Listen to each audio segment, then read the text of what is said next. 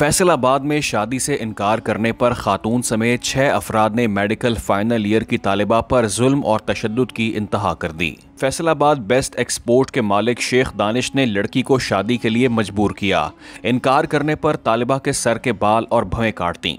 जूतियाँ चटवाई और मुआफिया मांगने के बाद वीडियो बनाकर वायरल कर दी। तफसलात के मुताबिक शादी से इनकार करने पर यूनिवर्सिटी टाउन की रिहायशी खतीजा पर मारूफ सनतकार की जानब से मुबैना तशद और जान से मारने की धमकियाँ देकर वीडियो बनाकर वायरल की गई। शादी से इनकार करने पर मारूफ सनतकार और उसकी बेटी समेत 16 मुलजमान ने खातून को तशद का निशाना बनाया, जिस पर थाना विमेन फैसलाबाद की जानब से मुतासरा खातून खतीजा की मुदैत में छह नामजद और दस नामालूम मुलजमान पर मुकदमा दर्ज किया गया।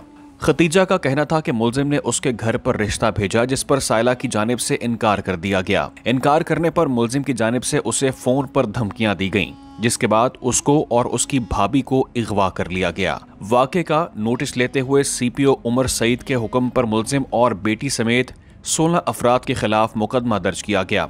मुकदमा यूनिवर्सिटी टाउन की रिहायशी लड़की की दरख्वास्त पर थाना विमन में दर्ज किया गया है। एफ़ आई आर के मुताबिक मुकदमे में छह नामजद जबकि दस नामालूम मुलजिमान शामिल हैं।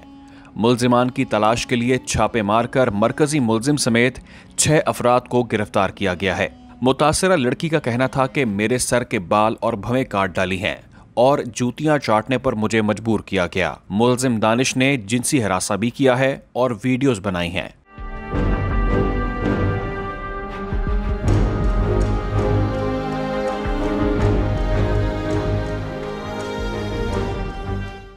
मुलजिमान ने तमाम वाक़े की वीडियोज़ बनाकर धमकियाँ देकर छोड़ दिया।